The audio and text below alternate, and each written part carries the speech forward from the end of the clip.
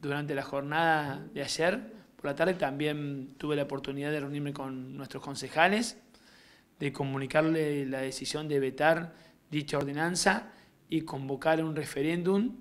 Va a ser en el próximo turno electoral, porque nosotros no queremos generar ningún gasto al Estado, ningún trastorno desde ese punto de vista.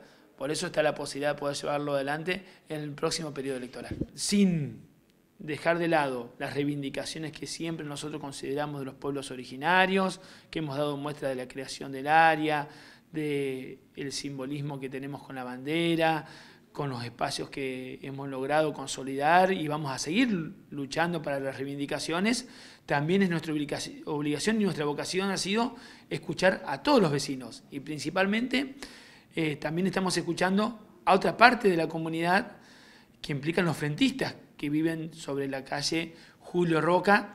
Y son cientos de firmas que hemos recibido, muchísimas reuniones que han mantenido funcionarios del gabinete también, eh, en, el cual, en las cuales no están de acuerdo con dicha situación y para nosotros es importante poder escuchar.